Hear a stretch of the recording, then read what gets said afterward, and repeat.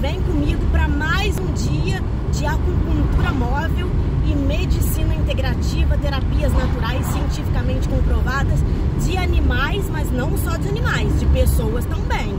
Então visitem lá o arroba acupuntura.humana e sigam também para vocês conseguirem visualizar todos os tratamentos naturais cientificamente comprovados para pessoas. Então vem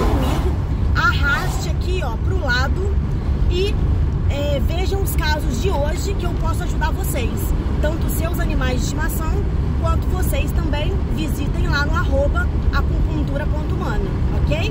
Trabalho aí com laser, vermelho infravermelho e várias outras técnicas laser para cicatrizar feridas difíceis e contaminadas.